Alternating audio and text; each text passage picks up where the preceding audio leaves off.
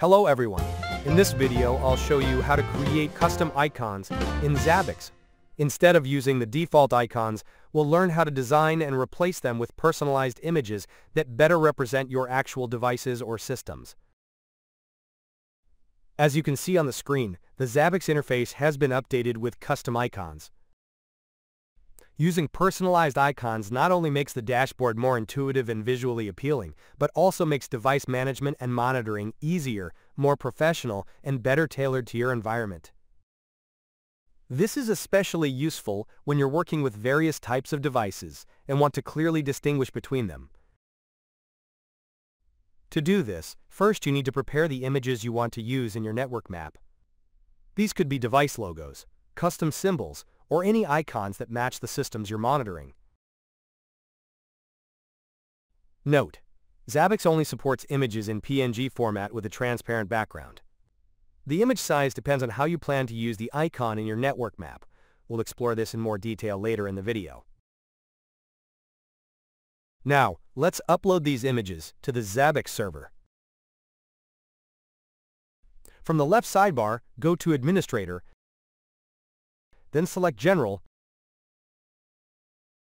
and click on Images.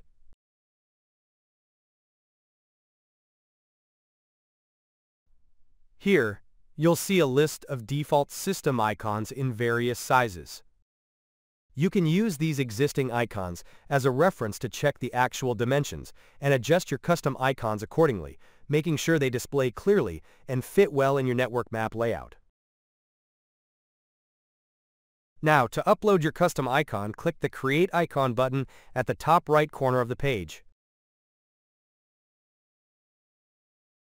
In the Name field, enter the name you want to give your icon. Here, I'll add the prefix OO to the icon name. For example, OO underscore your name, so it will always appear at the top of the list, along with the system's default icons. Next, click on Choose File to select the icon image you've prepared on your computer.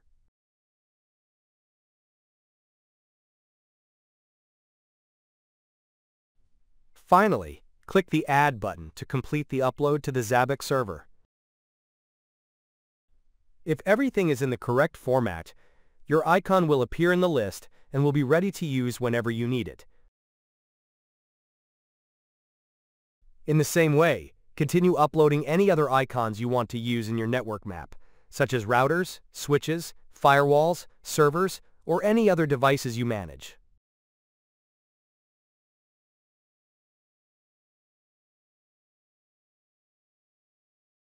Alright, that's it.